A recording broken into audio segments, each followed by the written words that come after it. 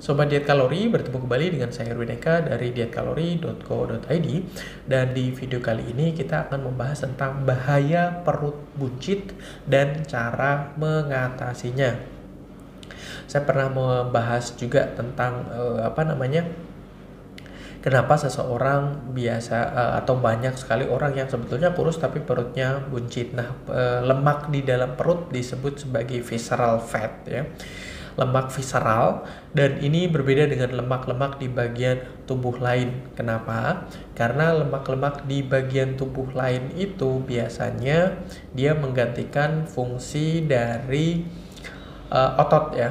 Jadi atau katakanlah menutupi serabut-serabut otot yang ada di bagian tubuh misalnya di lengan, di leher, di kaki ya, di betis, uh, paha, pinggul dan sebagainya. Sementara kalau yang visceral fat ini dekat sekali atau bahkan menempel di bagian organ tubuh Anda.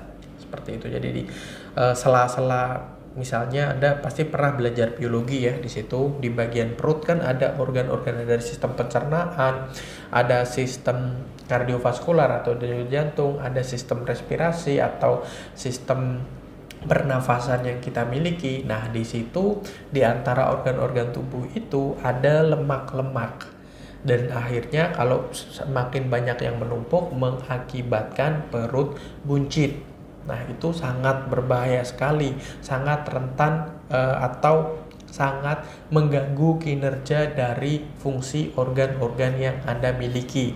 Dan tentu saja ini didasari dari atau diawali dari pola makan dan pola aktivitas fisik. Pola makan yang jumlah kalorinya berlebihan sehingga kalori tersebut tidak dibuang oleh tubuh. Ingat ya, jadi kotoran yang kita buang itu tidak serta-merta membuang semua jumlah kalori atau sejumlah kalori dari makanan yang kita makan. Tapi makanan yang kita makan itu sudah dikonversi oleh sistem pencernaan kita, oleh tubuh kita menjadi sejumlah energi dan ketika energi ini tidak dimanfaatkan oleh tubuh dalam poin yang kedua yang saya sebutkan tadi ya, yaitu berolahraga atau beraktivitas secara fisik ya artinya tidak dibakar tidak dipakai maka akan disimpan oleh tubuh dalam bentuk cadangan lemak. Termasuk dalamnya adalah visceral fat atau lemak yang membuat perut kita buncit.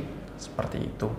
Ya jadi ibarat misalnya mobil diberikan e, bensin atau e, bahan bakar yang terus menerus gitu ya di melebihi batas yang dia butuhkan begitu ya dan dia tidak dipakai untuk uh, pergi ke mana-mana itu akan disimpan. Sistem kerja tubuh kita seperti itu. Sekalipun mobil tidak punya energi penyimpanan atau mungkin uh, mobil yang uh, listrik gitu mungkin bisa jadi ya uh, tapi ini tubuh kita yang akhirnya itu dari bentuk atau disimpan oleh tubuh dalam bentuk cadangan lemak seperti itu. Nah, perut buncit ini bisa berbahaya ketika ya normalnya kalau di Indonesia itu ya lingkar perut ketika Anda ukur dengan menggunakan uh, tali begitu atau meteran begitu ya untuk pria itu di angka 100 cm ya itu sudah sangat berbahaya dan wanita di angka 85 cm ini di uh, satuan Indonesia ya uh, untuk rata-rata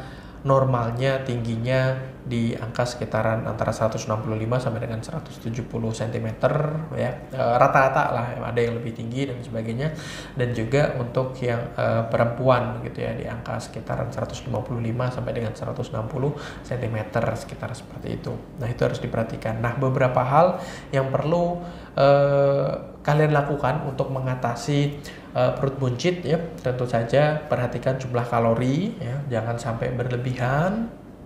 Dan untuk menghilangkan tentu saja kalian butuh untuk mengurangi bahkan di bawah dari kebutuhan kalori harian supaya lemak-lemak yang ada dalam perut itu diubah kembali menjadi energi. Jadi dipakai ya. Yang tadinya disimpan dalam bentuk lemak akan dipakai kembali. Terus kemudian perbanyak aktivitas fisik olahraga dan sebagainya ya. Jogging uh, berlari, bersepeda, berenang, terserah monggo apa pun yang kalian pilih. Yang penting kalian beraktivitas secara fisik. Kemudian pola hidup yang tidak sehat ya, uh, minum minuman beralkohol, minum minuman manis dan sebagainya itu juga harus diperhatikan.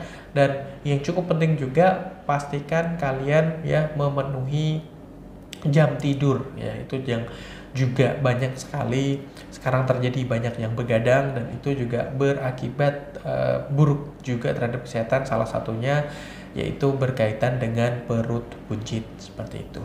Oke ya, saya rasa itu mudah-mudahan bermanfaat bagi kalian semua. Jangan lupa like, comment, dan share. Terus kemudian subscribe bagi yang belum subscribe dan follow sosial media kami yang ada di bawah ini.